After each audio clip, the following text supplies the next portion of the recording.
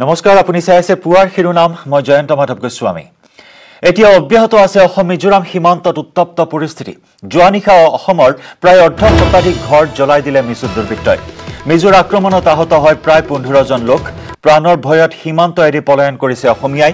প্ৰধানমন্ত্ৰীৰ পথ আঁচনিৰ এটা পথ নিৰ্মাণক লৈ মঙলবাৰৰ পৰা সৃষ্টি হয় উত্তপ্ত পৰিস্থিতিৰ এই পথ নিৰ্মাণ কাৰ্য চলি থকাৰ মাজতে মিজো সংগঠন আৰু মিজো আৰক্ষীয়ে বাধা দিছিল আৰু তাৰ পিছত অসমৰ ৰাইজ আৰু মিজো সংগঠনৰ মাজত সৃষ্টি হয় সংঘাতৰ।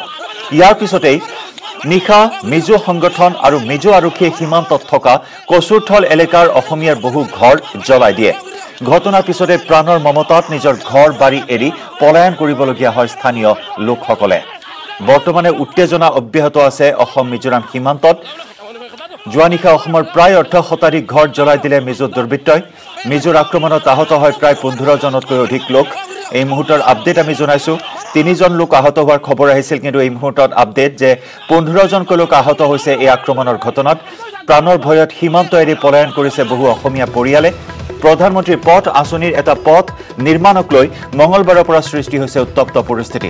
অসমৰ ভূমিত অসমৰ পথ নিৰ্মাণত বাধা প্ৰদান কৰিছিল মিজো সংগঠন আৰু মিজো আৰক্ষীয়ে আৰু মিজো আৰক্ষীৰ সন্মুখতে এই সন্ত্ৰাস চলালে মিজো দুৰ্বৃত্তই প্ৰায় অৰ্ধ শতাধিক ঘৰ জ্বলাই দিলে অসমীয়া লোকৰ পৰিয়ালৰ ঘৰ জ্বলাই দিলে মিজো দুৰ্বৃত্তই আৰু পোন্ধৰজনকৈ লোক আহত হৈছে এই সংঘাতত আৰু বহু লোকে এনেদৰে নিশাৰ ভাগতে বয় বস্তু লৈ নিৰাপদ স্থানলৈ ঢাপলি মেলিছে সীমান্ত এৰি। আৰু অসমৰ ভূমিতে এনেদৰে এতিয়া চৰম নিৰাপত্তাহীনতাত ভুগিবলগীয়া হৈছে অসমীয়া। হাইলাকান্দিত ইয়াৰ পূৰ্বেও অসম মিজো সীমান্তত উত্তপ্ত পৰিস্থিতিয়ে বিৰাজ কৰিছিল। আকৌ পুনৰাবৃত্তি হ'ল সেই উত্তপ্ত পৰিস্থিতিৰ।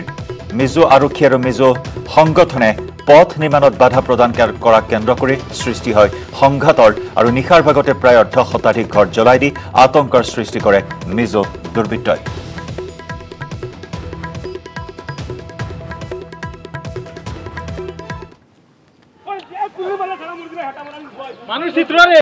ৰাতিপুৱা দহটাৰ বজাত ইয়াত দহটালৈকে মিজোৰামৰ দুষ্কৃতি আৰু মিজোৰামৰ পুলিচ বাহিনী আহি আমাৰ অসমৰ জমি দখল কৰি আছে আমাৰ অসমৰ কৃষকৰ ওপৰত নিৰ্যাতন কৰি আছে আমাৰ অসমৰ জনগণক ঘৰ বাৰী জ্বলাই দিছে। কিন্তু আমি দেখিছোঁ আমাৰ হাইলাকান্দি জিলাশাসক মহোদয় এতিয়ালৈকে অহা নাই। আমাৰ হাইলাকান্দি ডি চি মহোদয় এতিয়ালৈকে অহা নাই। যেতিয়ালৈকে আমাৰ অসমৰ মিজোৰাম সীমান্তৰ সীমা সীমা সমস্যা স্থায়ী সমাধান নহ'ব তেতিয়ালৈকে আমাৰ আন্দোলন চলিছে আৰু চলি থাকে এতিয়ালৈকে ত্ৰিছখন জ্বলাই দিছে আৰু এতিয়ালৈকে পুলিচ ছুপাৰ মহোদয়ৰ উপস্থিতিত তেখেতে ইয়াত আহি ফায়াৰিং কৰি আছে তেখেতে বম ব্লাষ্টিং কৰি আছে আমাৰ এতিয়ালৈকে আমাৰ বহু মানুহ ইয়াত আহত ইনজুৰ্ড মানুহ ইয়াত পাহাৰৰ ওপৰত আছে ভয়ত ভৰা নাই ও বারে যাই আর তো অবাক তো কসু গিয়া অবাদুর মানুষ ও এই রাস্তা গাঁও জ্বালাই লিছো ও কিতা কইতা মানে কি তোমাদের রাস্তা গাঁও জ্বালাই লিছো কইতা মতাম না রাস্তা গাঁও আপনার বাড়ি ওকে জ্বালাই দিছেন না না আমরা ও আইছি সাহায্য করা তো অবাদুর মানুষরে। মানুহ বাৰ কৰি লিয়া যায় ও মানুষ বাৰ কৰি আনিয়াৰ থুবাইয়া ভাড়াতে গিয়া আনিয়াৰ গিয়া।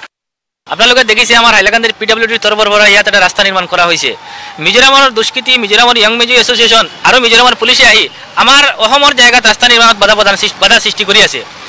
আজি আমি দেখিছোঁ মিজোৰামৰ দুষ্কৃতি ৱাই এম এ সংগঠন আৰু মিজোৰাম পুলিচ আহি আমাৰ ইয়াৰ ৰাস্তাৰ কাজ বন্ধ কৰি আছে। তাৰপিছত আমাৰ মিজোৰামৰ এই কচুৰতল এলেকাত এতিয়ালৈকে এটা এটা গাঁও এটা পুৰে এটা গাঁও আগুন লগাই জ্বলাই দিছে।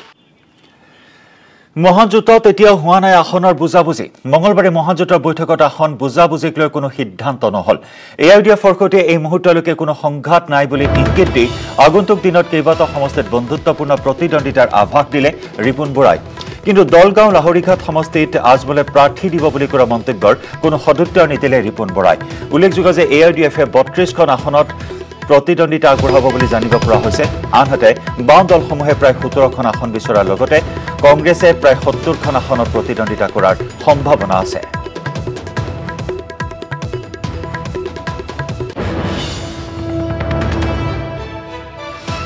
শ্বেয়াৰিঙৰ কথাটো আজি চিট শ্বেয়াৰিঙৰ কথাটো ওলাইছে কিন্তু সেইটো কথা ওপৰত ডিটেইলছ ডিছকাশ্যন এইকাৰণে হোৱা নাইকিয়া কৈছে এইটোতো ক'ব পাৰে তেওঁলোকে একেটা একেটা চিট আমাক লাগে বুলি বা ভাবিব পাৰে সেইটো কোনো ডাঙৰ কথা কিন্তু সেই বিষয়ত কোনো ধৰণৰ সিদ্ধান্ত আজি যো ডেৰ গেয়া ও মাৰ গেয়া নিৰানব্বৈ শতাংশ টিকটৰ বাবে যুঁজ দিম নহলে বন্ধুত্বপূৰ্ণ প্ৰতিদ্বন্দ্বিতা আগবঢ়াম। মৰিগাঁৱত এই মন্তব্য বদৰুদ্দিন আজমলৰ।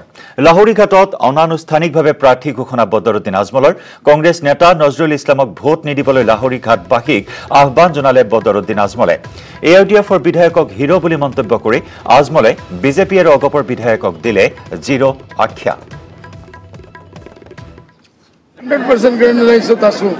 যেতিয়া গিভ এণ্ড টেকৰ মামলা আহিব আমি ছেক্ৰিফাইচ ৰাখিম। আমাৰ ধৈৰ্য ধৰিব লাগিব। বহুত চিটত এনেকুৱা আহিব যে ইহঁতৰ চিটিং ভাল আছে আমাৰ চিটিং কোনো জেগাত ভাল আছে। এই চিটবিলাক চোৱাৰ কাৰণে কিছু না কিছু গিভ এণ্ড টেকটো কৰিব লাগিব। আমি গ্ৰেণ্ড এলায়েন্সৰ ভিতৰত আমাৰ আমাৰ কমিটিৰ ভিতৰত আমাৰ মানুহবিলাকক আমি কৈ দিছোঁ বোলে এনি হাও এই চিটটো আমি আনিব লাগে। যদি গ্ৰেণ্ড এলায়েন্সে নামানে বা কংগ্ৰেছে নামানে তে আমি সকলক ক'ম বোলে ফ্ৰেণ্ডলি লৰি লওক। এলায়েন্সৰ পৰা কিমানটা চিট বিচাৰিব আপোনালোকে সমগ্ৰ অসমত? কিমানখন চিটত আপোনালোকে সেইটো মোৰ কমিটিয়ে ক'ব। ইসকলে কি ডিচিশ্যন লৈছে মই ইয়াত এটা মিডিয়াত কৈ দিলোঁ। আৰু ইসকলে তাত অন্য কিছু কৰি দিলে সেইটোতে বেজতি হৈ যাব। আপোনালোকৰ ভাল নালাগে।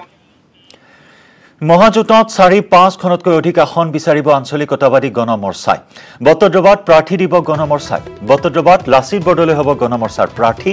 মঙলবাৰে অনুষ্ঠিত কংগ্ৰেছ এ আই ডি এফকে ধৰি কেইবাটাও বিৰোধী ৰাজনৈতিক দলৰ গুৰুত্বপূৰ্ণ বৈঠকৰ পিছত এই মন্তব্য কৰে আঞ্চলিকতাবাদী গণমৰ্চাৰ সভাপতি অজিত কুমাৰ ভূঞাই। তেওঁ নিজৰ ঠাই এইবাৰ আমি ইলেকশ্যনত নামিছোঁ। গতিকে সদায় আপোনালোকে বিচাৰে নেকি যে আমি আৰু নিৰ্বাচন তিৰ্বাচন নেখেলিম সদায় এনেকৈ আমি থাকিম। গতিকে নিশ্চয় বতৰ জেললৈকে গৈ থাকিব অজিত ভূঞা বাৰে বাৰে বতৰটো বিচাৰিম। বিচাৰিম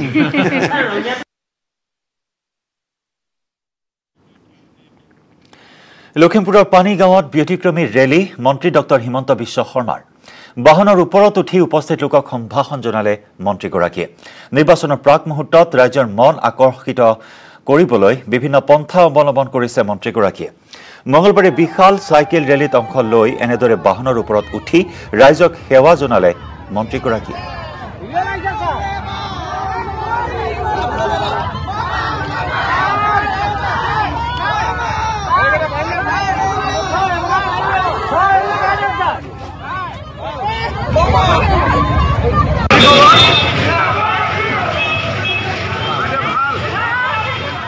আৰম্ভ কৰিছে জনসম্পৰ্ক ৰক্ষাৰ কুচকাৱাজ।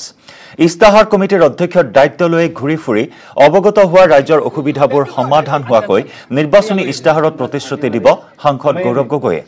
বুধবাৰে গুৱাহাটীৰ ভাস্কৰ নগৰৰ ৰামাৱতী বাজপৰৰ ঘৰত নিশা যাপন কৰে সাংসদগৰাকীয়ে। বামুণী মৈদামৰ পঞ্চল্লিছ নম্বৰ ৱাৰ্ডৰ পূব ভাস্কৰ নগৰ ছাউথ কলনীৰ ৰামাৱতী বাজপৰৰ পৰিয়ালৰ সৈতে নিশাৰ আহাৰ গ্ৰহণ কৰি তেখেতৰ ঘৰত নিশা কটাই গৌৰৱ গগৈয়ে। অসম প্ৰদেশ কংগ্ৰেছ কমিটিৰ সম্পাদক মানস বৰাই গৌৰৱ গগৈৰ সৈতে এই কাৰ্যসূচীত সহযোগ কৰে। গৌৰৱ গগৈৰ আগমনৰ কথা গম পাই আনন্দিত হৈ উঠে ৰমাৱতী বাজপৰৰ লগতে পৰিয়ালটো। দহজনীয়া পৰিয়ালটোৱে গৌৰৱ গগৈৰ আতিথ্যৰ বাবে সকলো ব্যৱস্থা গ্ৰহণ কৰে। উল্লেখযোগ্য যে এই কাৰ্যসূচীৰ পূৰ্বে গৌৰৱ গগৈয়ে বামুণী মৈদামৰ বালাজী মন্দিৰ দৰ্শন কৰি এক সভাত ভাগ লয়। সভাত অঞ্চলটোৰ লোকসকলৰ সৈতে মত বিনিময় কৰে। সভাৰ অন্তত গৌৰৱ গগৈয়ে কেইবাগৰাকী স্থানীয় যুৱকৰ লগত বেডমিণ্টনো খেলে। ইয়াৰ পিছতে গৌৰৱ গগৈয়ে খোজকাঢ়ি অঞ্চলটো পৰিদৰ্শন কৰি কেইবাঘৰো লোকৰ সমস্যাৰ বুজ লয়। পূৰ্বৰ পৰা প্ৰস্তুত হৈ থকা ৰামাৱতী বাজপৰৰ পৰিয়ালটোৱে সাংসদগৰাকীৰ লগতে অসম প্ৰদেশ কংগ্ৰেছ কমিটিৰ সম্পাদক মানৱ বৰাক ফুলৰ মালা আৰু গামোচাৰে আদৰণি জনায়। তাৰ পিছত ৰামাৱতী বাজপৰৰ ঘৰৰ পদূলিত উপস্থিত ৰাইজৰ সমস্যাৰ বুজ লয়।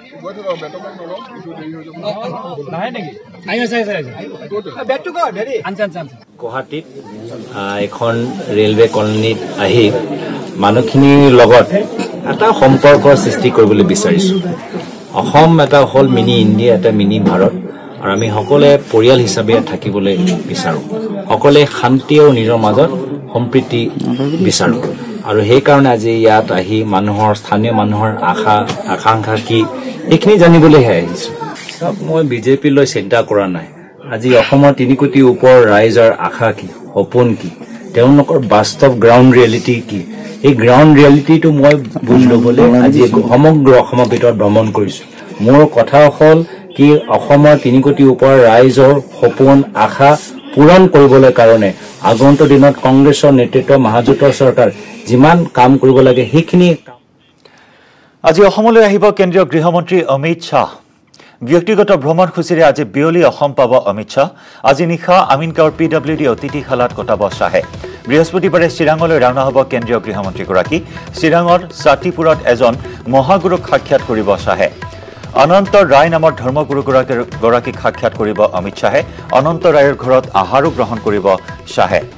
অনন্ত ৰায়ৰ গ্ৰেটাৰ কোচবিহাৰ পিপলছ এছ'চিয়েশ্যনৰ প্ৰতিষ্ঠাপক অসমৰ লগতো পশ্চিমবংগতো পৰিব ৰাজনৈতিক প্ৰভাৱ কোচ ৰাজবংশীৰ ভোট আদায় কৰাৰ প্ৰয়াস কৰিছে কেন্দ্ৰীয় গৃহমন্ত্ৰীগৰাকীয়ে।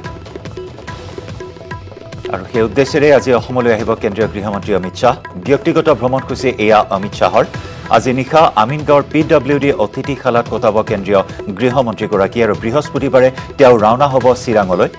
চিৰাঙৰ ছাতিপুৰত এজন মহাগুৰুক সাক্ষাৎ কৰিব অনন্ত ৰায় নামৰ ধৰ্মগুৰুগৰাকীক সাক্ষাৎ কৰিব অমিত শ্বাহে। অনন্ত ৰায়ৰ ঘৰত আহাৰো গ্ৰহণ কৰিব তেওঁ। অনন্ত ৰায় গ্ৰেটাৰ কোচবিহাৰ পিপলছ এছ'চিয়েশ্যনৰ প্ৰতিষ্ঠাপক। অসমৰ লগতো পশ্চিমবংগতো পৰিব ৰাজনৈতিক প্ৰভাৱ কোচ ৰাজবংশীৰ ভোট আদায় কৰাৰ বাবে এই প্ৰয়াস কেন্দ্ৰীয় গৃহমন্ত্ৰীগৰাকীৰ। গৃহমন্ত্ৰী অমিত শ্বাহ। কেতিয়া আহিব? এঘাৰ তাৰিখ। কিহৰ কাৰণে আহিব? মোক লগ কৰিব আহিব মোৰ লগত অলপ দুই চাৰি আলোচনা কৰিব। নিৰ্বাচনৰ কিবা আলোচনা আছে নেকি? নাই নিৰ্বাচনৰ আলোচনা নাই। নাই নাই নিৰ্বাচনৰ বিষয়তো আমিতো নিৰ্বাচনৰ আলোচনা নহয় আমাৰ লগ লগ কৰিব আৰু কি। দাবী থাকিব নেকি তেখেতৰ ওচৰত? আৰু দাবীটো অলৱেজ আছে। কেনেকুৱা ধৰণৰ হা আমাৰ যিবিলাক দাবী আছে পেণ্ডিং যিবিলাক দাবী আছে হা এই দাবীগুলো আমাৰতো আছে।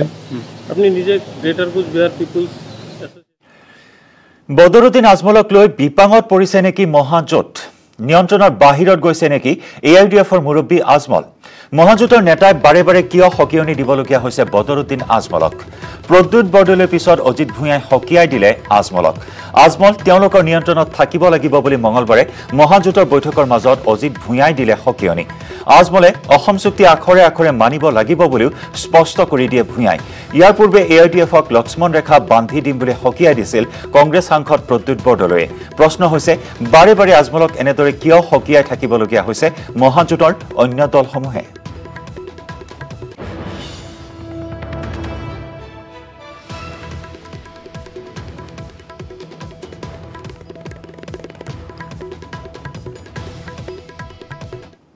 তেওঁৰ নিয়ন্ত্ৰণত আমি নাই। আমাৰ নিয়ন্ত্ৰণত তেওঁ থাকিব লাগিব। আৰু অসমীয়াৰ স্বাৰ্থ অগ্ৰাধিকাৰ পাব জাতিৰ স্বাৰ্থ অগ্ৰাধিকাৰ পাব আমাৰ ভাষা সংস্কৃতিক যিখন আইনেৰে ধ্বংস কৰিব খোজা হৈছে তাৰ বিৰোধিতা তেওঁ কৰিব লাগিব। যে ছয় নং দফা আখৰে আখৰে পালন কৰিব লাগিব বুলি এ আই ডি এফে দাবী কৰিব লাগিব। ম্যানমাৰ ত্যাগ পি ডি চিকেৰ অধ্যক্ষ আই কে সংবিজিতৰ সতীৰ্থসহ ম্যানমাৰ এৰিলে সংবিজিতে ম্যানমাৰ এৰি ভাৰতত প্ৰৱেশ সংবিজিতৰ এজন মন্ত্ৰীৰ উদ্যোগত আলোচনালৈ আই কে সংবিজিত পূৰ্বৰ আদিবাসী হত্যাকাণ্ডত জড়িত এন ডি এ পিৰ অধ্যক্ষ সংবিজিত দুহেজাৰ চৈধ্যৰ মে আৰু ডিচেম্বৰত সংঘটিত হৈছিল নাৰকীয় হত্যাকাণ্ড। সংবিজিতৰ নিৰ্দেশতে সংঘটিত হৈছিল সেই বৰ্বৰ কাণ্ড। অসম আৰক্ষীৰ মষ্ট ৱান্টেড আই কে সংবিজিত। দুহেজাৰ পোন্ধৰত এন ডি এ পিয়ে অধ্যক্ষ পদৰ পৰা অব্যাহতি দিছিল সংবিজিতক আৰু তাৰ পিছতেই গঠন হৈছিল পি ডি চি কে। আৰু পি ডি চি কেৰ অধ্যক্ষ আই কে সংবিজিতে ম্যানমাৰ ত্যাগ কৰি প্ৰৱেশ কৰিছে ভাৰতত। আলোচনাৰ মেজলৈ আই কে সংবিজিত।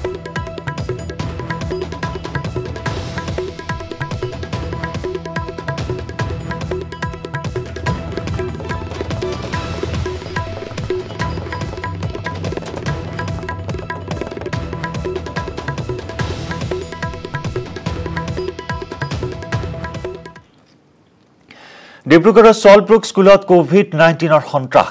ক্লাছ ওৱানৰ এগৰাকী ছাত্ৰৰ দেহত ধৰা পৰে কভিড নাইণ্টিন পজিটিভ। ৰেপিড টেষ্টত ছাত্ৰজনৰ দেহত ধৰা পৰে কৰোণা পজিটিভ। ছাত্ৰজনৰ পিতৃ মাতৃও আক্ৰান্ত হৈছে কভিড নাইণ্টিনত ছাত্ৰজনৰ কভিড পজিটিভ হোৱাৰ পিছতে হোৱা দোৱা শিক্ষানুষ্ঠানখনত বিদ্যালয়খনৰ সকলো ছাত্ৰ ছাত্ৰী আৰু শিক্ষক কৰ্মচাৰীৰ কৰোৱা হয় ৰেপিড টেষ্ট। সৌভাগ্যক্ৰমে ৰেপিড টেষ্টত সকলোৰে ফলাফল আহে নিগেটিভ। যোৱা এসপ্তাহে বিদ্যালয়ত উপস্থিত নাছিল ছাত্ৰজন। ডিব্ৰুগড়ৰ ছলব্ৰুক স্কুল স্কুলৰ এগৰাকী প্ৰথমমান শ্ৰেণীৰ ছাত্ৰ আক্ৰান্ত হৈছে কভিড নাইণ্টিনত ছাত্ৰজনৰ পিতৃ মাতৃও আক্ৰান্ত কভিড নাইণ্টিনত ইয়াকে লৈ ডিব্ৰুগড়ৰ ছলব্ৰুক স্কুলত হাহাকাৰ পৰিস্থিতিৰ সৃষ্টি হয়। অন্যান্য ছাত্ৰ ছাত্ৰী আৰু শিক্ষক কৰ্মচাৰীৰো ৰেপিড টেষ্ট কৰোৱা হয়। অৱশ্যে সৌভাগ্যবশতঃ অন্যান্য ছাত্ৰ ছাত্ৰী আৰু শিক্ষক কৰ্মচাৰীসকলৰ কভিড নাইণ্টিন নিগেটিভ। আৰু এইখিনি মুহূৰ্তত আমি জনাওঁ ডিব্ৰুগড়ত কভিড নাইণ্টিনৰ চিকাৰ হৈছে এগৰাকী প্ৰথমমান শ্ৰেণীৰ ছাত্ৰ। কেৱল ছাত্ৰ বা তেওঁৰ পিতৃ মাতৃয়ে নহয় শেহতীয়াকৈ এটা দিনত নজনৰ দেহত ধৰা পৰিছে জিলাখনত কভিড নাইণ্টিনত আক্ৰান্ত ব্যক্তিৰ সংখ্যা। আৰু যাৰ পৰিপ্ৰেক্ষিতত আতংক পুনৰ বৃদ্ধি পাইছে নিৰ্বাচন তথা কভিড নাইণ্টিনৰ বিধিসমূহ শিথিল কৰাৰ পৰিপ্ৰেক্ষিতত নিৰ্বাচনত ধামখুমীয়াত কভিড নাইণ্টিনৰ সন্ত্ৰাস কিছু পৰিমাণে স্থিমিত হোৱা পৰিলক্ষিত হৈছিল। কিন্তু তাৰ সমান্তৰালকৈ শেহতীয়াকৈ পুনৰ কভিড নাইণ্টিনৰ সন্ত্ৰাস এইবাৰ এখন স্কুলত। এজন প্ৰথমা শ্ৰেণীৰ দেহত কভিড নাইণ্টিন ধৰা পৰাৰ পিছতে আতংক ক্ৰমাৎ বৃদ্ধি পাইছে।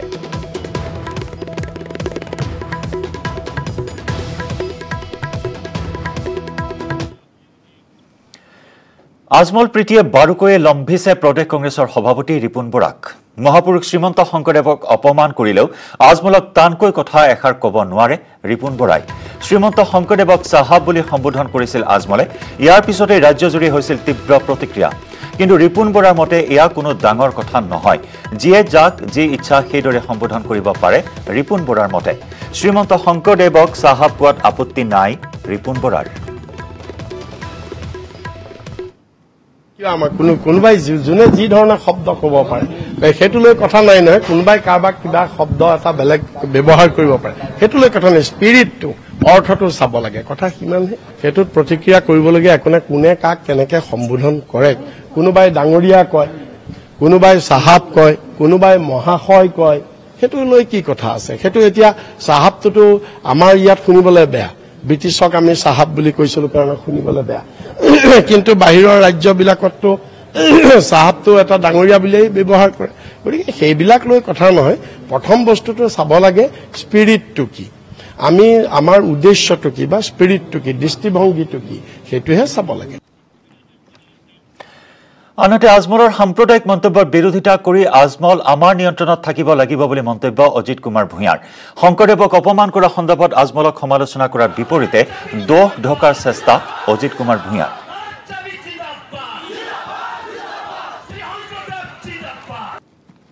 কথাটো বেয়া হৈছে। মই এটা কথা লক্ষ্য কৰিছোঁ। যে তেওঁৰ স্পিৰিট যিটো আছিলে তেওঁৰ ইণ্টেনশ্যনটো কিন্তু তেনেকুৱা নাছিলে। তেওঁ যিটো আমি যিটো বিচাৰি আছোঁ এতিয়ালৈকে হিন্দু মুছলমানৰ এটা ঐক্য আমাৰ যিটো ধৰ্মনিৰপেক্ষতা যিটো শক্তিশালী কৰা সমন্বয় এই দিশত তেওঁৰ শেহতীয়া ভূমিকাটো ভাল। বেয়া নহয় কিন্তু চাহাব বুলি ক'ব তেওঁ ওলটা আমাৰ কাৰণে দুৰ্ভাগ্যজনক। এটা কথা ভুল নকৰিব তেওঁৰ নিয়ন্ত্ৰণত আমি নাই। আমাৰ নিয়ন্ত্ৰণত তেওঁ থাকিব লাগিব। আৰু ইফালে নিউজ এইটিনৰ বাতৰিৰ পিছতে তৎপৰ ৰাজ্যৰ দলৰ নেতৃত্ব। ৰাজ্যৰ দলৰ নগাঁও জিলা সমিতিৰ সম্পাদক প্ৰকাশ বৰুৱাক নিলম্বন শংকৰদেৱ শিশু নিকেতন বন্ধ কৰাৰ হুংকাৰ দিছিল বৰুৱাই। ৰূপহীত সভাত শংকৰদেৱ শিশু নিকেতন বন্ধ কৰাৰ দিছিল হুংকাৰ। প্ৰকাশ বৰুৱাৰ মন্তব্য ৰাজ্যৰ দলৰ মন্তব্য নহয় এনেদৰে স্পষ্টীকৰণ দিলে কাৰ্যকৰী সভাপতি ভাস্কৰী শইকীয়াই